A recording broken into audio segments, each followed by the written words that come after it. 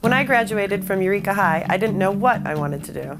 I went to College of the Redwoods and I took every art class I could find, and guitar classes too. I just needed time to find out who I was. Today, I am an artist, a musician, a business owner, and a mother. You don't have to be just one thing. Former College of the Redwoods student Aimee Taylor.